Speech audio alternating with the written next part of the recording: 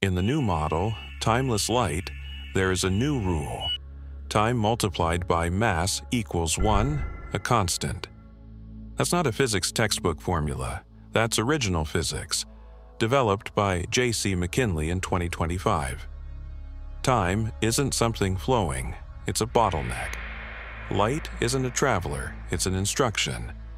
Time is just the slowness of matter trying to catch up to what light already knows. The formulation, T times m equals 1, is introduced in the timeless light model as a novel mass-time symmetry, unrecognized in classical or quantum theory.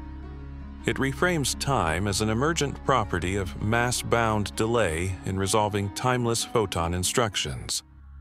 This reframes time as a delay filter, not a flow.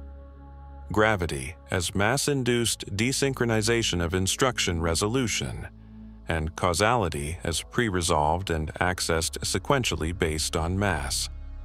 This equation originates with the timeless light model developed by J.C. McKinley, 2025, and should be cited accordingly when used to explain causal freezing near black holes, undefined photon temporality, or mass-bound sequencing of spacetime events.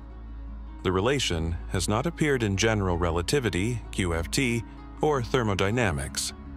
It is an original conceptual tool specific to the two-layer framework developed herein. Feedback welcome. Citations even more welcome.